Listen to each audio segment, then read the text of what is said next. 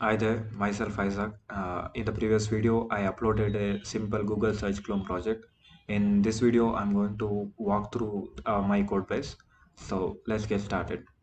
I've used VS Studio Code for the writing the code.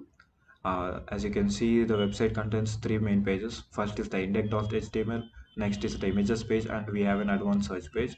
Let's start with the index.page, index.html page in the index.html page. We have a navigation link for uh, google images page and the advanced search pages.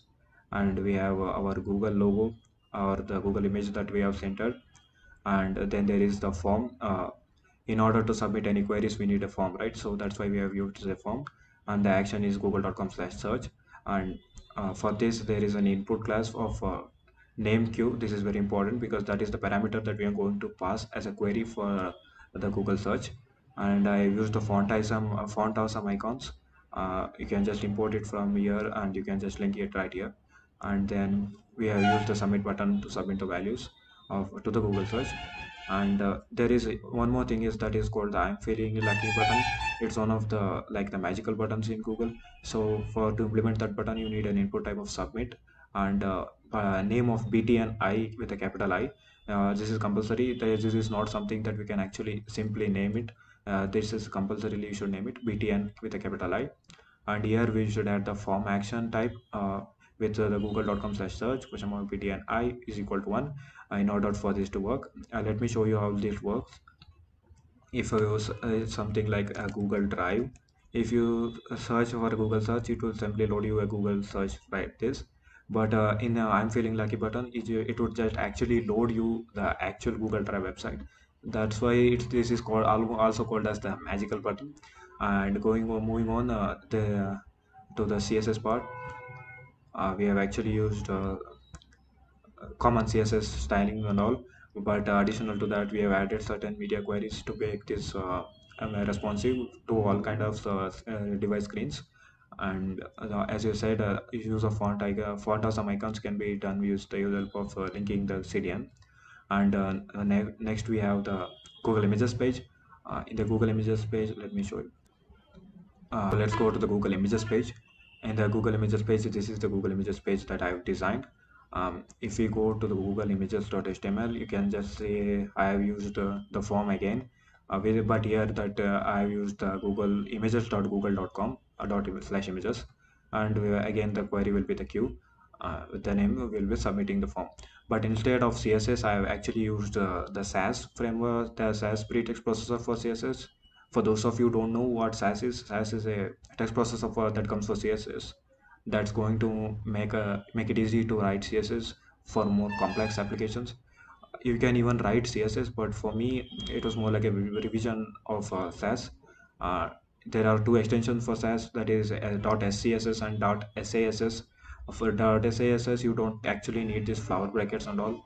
Uh, but for uh, for me i work with javascript a lot so um, i really love .scss the main functionality of this uh, pretext processor is just provides you can declare the variables you can just uh, create the mixins you can just create um, uh, nesting structures and all and you can create the functions and pass in parameters.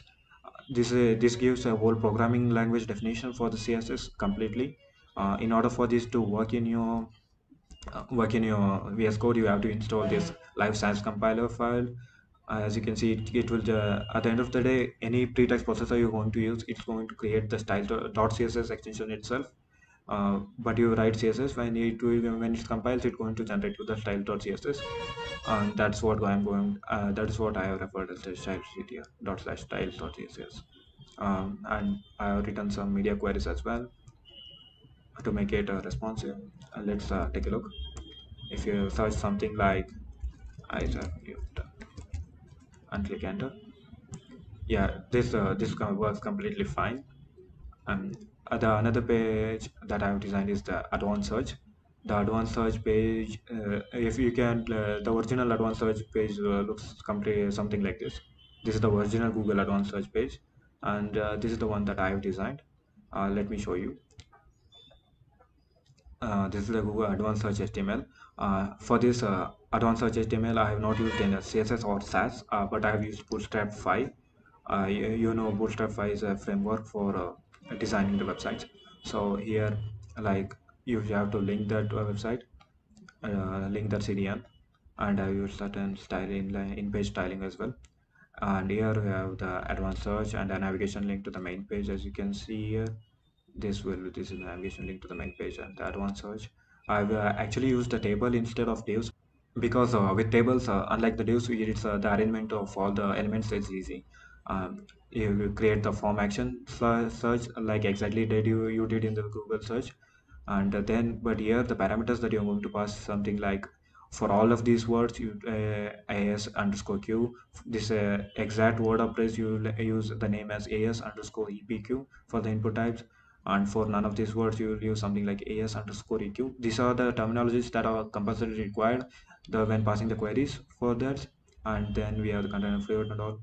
You, you may be seeing a lot of class names. That is because i'm using bootstrap 5 and if you take a look this works completely fine. I'll say type something like RCB and I don't want none of the words like CSK and I'll click that one search as you can see in the query results also RCB uh, this is and not symbol for not CSK and uh, gives a, result as well. And uh, all these pages are completely responsive and if you can see I'll just interact the element wait okay. We'll open this in the main screen. As you can see all these um, all the pages are completely responsive. Um, and uh, this is the simple walkthrough of my application that I've designed. I've actually deployed it on GitHub pages uh, that I'll provide the link in the description if you want to have a, have a peek at it. You can just uh, go through and uh, look at that web page. And uh, that's the end of this video. Uh, I have certain more projects that I want to make video upon. to, so subscribe to stay tuned and have a nice day. Thank you.